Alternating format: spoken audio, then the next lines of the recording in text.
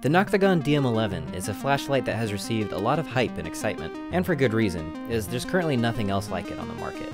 This light has only just been made available to purchase, and I was lucky enough to actually receive a prototype version of the light from Hank, um, big thanks to him. So, let's take a look at it.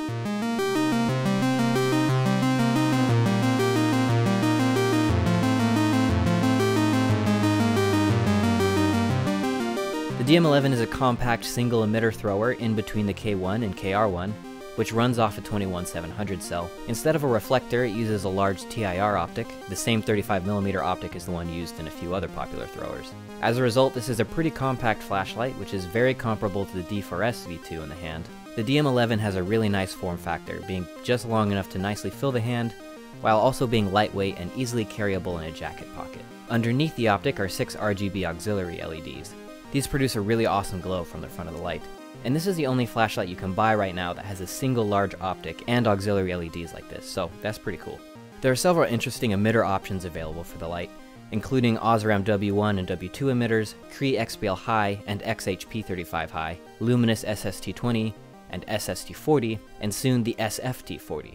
All of these options will provide impressive throw and high outputs. As nice as all of these are, the most unique and interesting option is the Nichia B35AM LED, which has an extremely high CRI of 98 in a variety of different temperatures. This LED is essentially a larger version of the E21A and can produce well over 1500 lumens on turbo, with an intensity of about 48,000 candela under the large optic.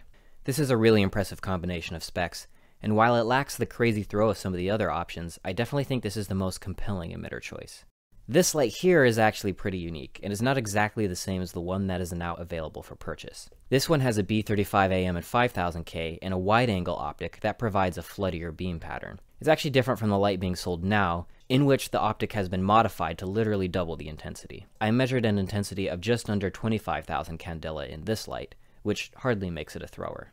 However, this just so happens to align more with my own preferences, and I find this to be an extremely nice beam pattern that provides a fairly wide hotspot with a strong spill that gradually fades outward. It still has plenty of throw for my uses, and is impressively bright at over 1600 lumens at startup, which shows this emitter is being driven right in its sweet spot for performance. Better yet, this 5000K emitter produces a super clean white beam that is just fantastic for general outdoor usage. Tint is very neutral, with just a hint of greenness in the outer spill. I honestly suspect that might be partly due to the green color of this host. The DM11 has three different driver options, which will depend on the emitter chosen. Most versions of the light will have a constant current 3 volt driver, which will be regulated to either 5 amps or 7.5 amps depending on the LED. The B35AM uses a 6 volt boost driver, which maxes out at 3.6 amps, and the XHP35 High uses a 12 volt driver at 2 amps. Being a single emitter light, the DM11 does not get super hot, but will still generate a fair bit of heat on turbo. On this B35 model, the high output is sustained for a respectable amount of time, and overall the runtimes and stable output are really pretty solid with about 2 hours of runtime at a sustained 500 lumens. For a light with 98 CRI, this is very nice. The light was calibrated, but I did not adjust the thermal limit, so I'm sure even higher outputs can be sustained. That will require more testing. There are a couple of interesting quirks with this design. The knurling on the body tube is very aggressive and has been polarizing online. I find it to be a bit more than I would like, but it's really great for holding with gloves and is another factor that points towards this being an excellent outdoor flashlight. However, while the knurling is fine, I do find that the fins on the head are a bit too sharp, which is actually more annoying in the hand than the knurling is. It also seems to me the head could have used more heatsink fins. Thermal performance is fine, but it's just a lot of flat surface here that I think could probably have been utilized better. It's already not a smooth light in the hand, so you might as well just go for more fins here. Oddly, the head diameter is very close to the D4S, and yet the body tubes are not interchangeable. This really is a missed opportunity, as having compatible tubes between the two would have opened the door to using either cell type with either light, which would have been super nice. In addition, the DM11 lacks the USB-C charging port found on the K1 and K9.3. I'm not a fan of ports and threads anyway, but it would have been a nice feature nonetheless, so it's a bit of a shame it's gone here.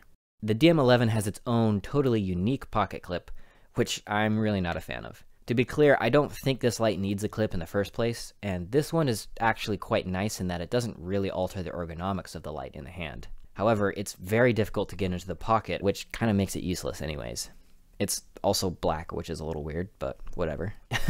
in this exact configuration, this light competes very directly with the D4S V2, and practically speaking, it could probably be swapped out for my 219B D4S and have the same functionality. However, I prefer this one just a bit more, as it is slightly throwier, gets a bit less hot, and has an even higher CRI, which is pretty nice.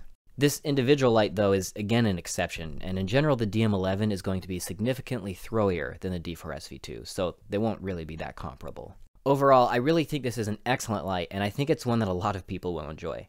It's very practical for outdoor use and has pretty solid performance. This is not a full review of this light, I'll have to do some more testing before making a final verdict, but at the moment, I'm really happy with this light, and I'm happy to recommend it, as it's one I really enjoy using myself. I'll be getting another of these with a different emitter, so I can compare the two and really test this light as a proper thrower, but I can say that this particular floodier light is kind of one that fills my needs very nicely, and it's honestly one of my favorites so far. I really do hope that it will be available with this floodier optic, just because I think it's a super nice option to have. Uh, it does have some interesting quirks, but it's very much in line with the other Emisar lights I have, and I think it makes for an excellent companion light to the D4S V2 or even the smaller quads. That's all there was for this video. It's a bit less of a fancier one. Um, again, I'm going to be doing a longer full review of this as well as the D4S V2.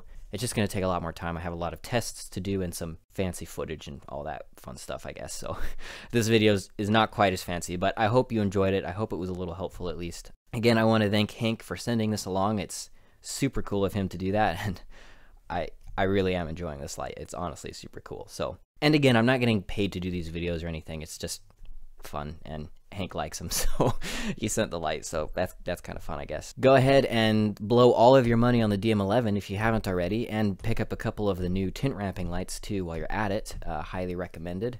So, hope you guys enjoyed it. Adios.